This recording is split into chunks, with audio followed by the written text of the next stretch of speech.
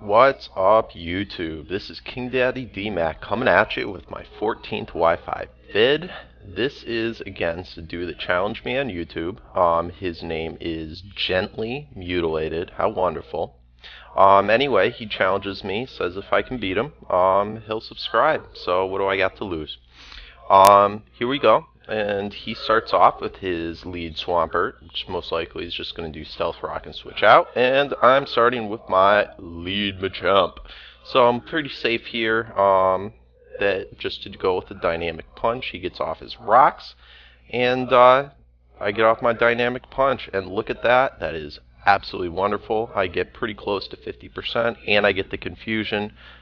He's going to switch out. Smart move, buddy he goes into his Dusknoir, and I go for the Dynamic Punch. Great predict, buddy.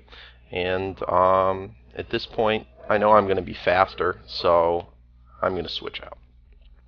Now, I was a little suspicious here. I'm pretty sure he had seen my vids, and uh, when you use the same team like I have, what's going to happen? You use it too long, people are going to probably make teams that counter yours. Whether that he actually did or this is really his normal team, I don't know, but I'm a little suspicious. Anyway, I get off my leech seed. Wonderful. Um, always good whenever somebody sends in a wall to get that off because it's going to be doing a lot of damage. I go for my seed flare. And again, wonderful. This guy is definitely physical wall and um, I'm able to get a lot of damage off. He goes with a smart move and uh, does the pain split, but you know what? That's okay because pain split doesn't kill nobody, and um, I'm just going to keep on leeching off.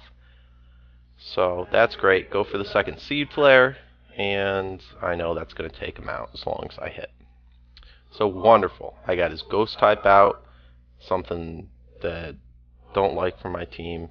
Always good to get the ghost type out. Anyway, he goes into a Scizor. Now, I go ahead with my HP Fire. I'm feeling pretty good, but I realize normally I've set up HP Rocks, or excuse me, I've set up Stealth Rocks by this point. Well, what happens on Shaymin when you run Timid and uh, you don't have your Stealth Rocks up? Scizor is able to live. That suck fucking blows. So his Scizor's still in, and U-turns out. So he's able to get his Swampy back in, and my Shaymin has failed. Which is always the best um, counter to a Swampert. It's going to be my grass type. So I bring in my Swampy, I get my rocks off, he roars out. Probably not the best move for him, but uh, he's only at around 50% health. I have my Machamp. Now, he does quite a bit of damage there. Um, which sucks for me.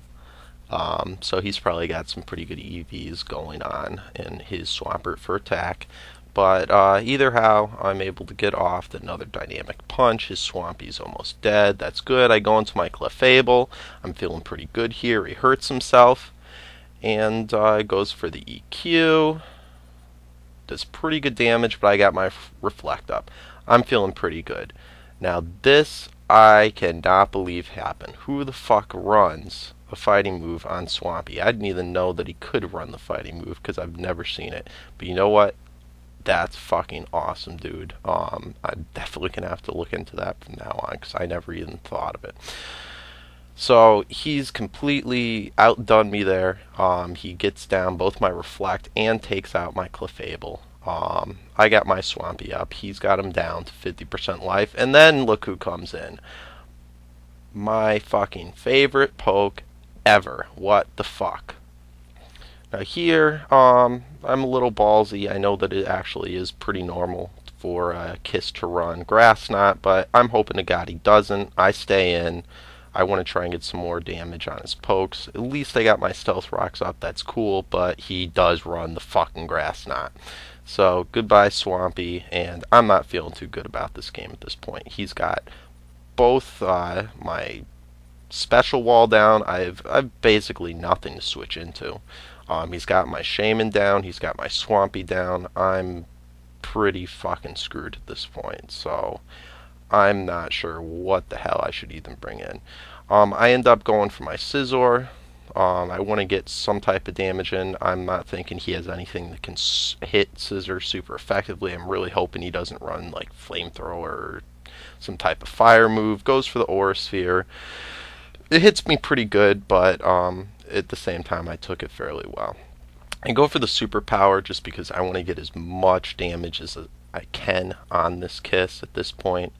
And um, if I know if I hit him again, I know it'll kill him, but he'll probably also kill me getting the defense drop. So I switch out.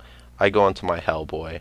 Um, I'm pretty confident that he's going to go ahead again with the uh, Aura Sphere. I predict right, and uh, I get a free switch. That's awesome. Um, I right here, I know I'm going to be able to take him out with the T-Bolt. I go ahead with that, and uh, it's looking pretty good, super effective, but fuck, doesn't try quite kill him. He gets the T-Wave off. I'm paralyzed. This is a swamped Gengar, uh, scarfed Gengar. I'm I'm fucked at this point. I'm uh, everything on his team's gonna outdo it. Thank God he gets a miss. I'm able to take him back out like I feel I should have in the first place. But great EV spread. I know that Togekiss does. Uh, he is a lot bulkier on the special side, so you know I should have known better. But what was I gonna do? I didn't have many options left. So that's fucking cool. Who comes in next? Porygon Z. Fuck. Another poke that I hate. Another poke that resists my only stab that I carry on my Gengar. Well, I know Porygon generally um, generally can't take me out in one hit, although I, he has a much better chance of taking me out in one hit than I do of him. I know I'm not going to be able to take him out in one hit because I can't hit him with my stab. He goes for the Psychic. Great. He fucking runs Psychic. Now, not that that's an unusual move, but uh, again, it's not one of the top moves I see on a Porygon Z. There's generally much better moves that he can run. So anyway, I know now he's got a poke that's going to be able to take out my fucking Machamp in one hit. He took out my Gengar in one hit. Um, my only hope is that this dude is scarfed or specked or something just so that he's not going to be, hopefully scarfed, so he's not going to be able to take out my Scizor. But I got the priority move, do the bullet punch, and uh, pray to God that he's not uh, spexed. So I'm able to live that. That's awesome, just like I thought. I'm able to two-hit KO him with my bullet punch after Stealth Rock. That's fucking cool. I'm feeling a little bit better now. And um, you know, uh, he only has three pokes left. I got two. So, brings in the Scizor. Knew he was going to die from Stealth Rock. That's awesome. Brings in his Zapdos. And here, um, there's not really much I can do. I know if I switch out, it's a good chance that I'm going to die from Stealth Rock coming back in anyway. So I say, fuck it. I want to sort of check out what uh, what this guy has and fodder him out. And I bring in my I got you bitch. Now here, um, I know that Machamp is a little bit bulkier on the physical side. This is a bulky Machamp, and I'm feeling pretty good. I know I'm going to be able to one-hit KO this guy with the Stone Edge. Know I'm going to survive that. And what? What the fuck? A crit.